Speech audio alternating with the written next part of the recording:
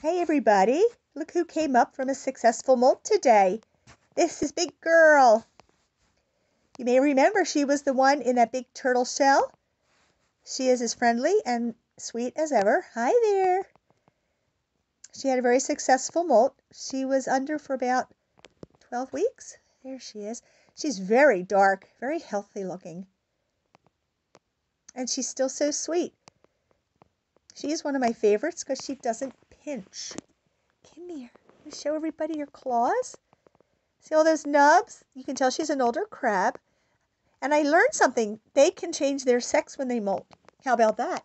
And humans think they're superior. We can't do that. They can go down a boy and come up a girl. So how about that? Isn't she cute? Look at those big eyes. See her thick antenna?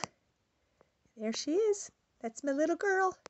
That's big girl. Oh, she loves the camera. Here she comes. Say bye, everybody.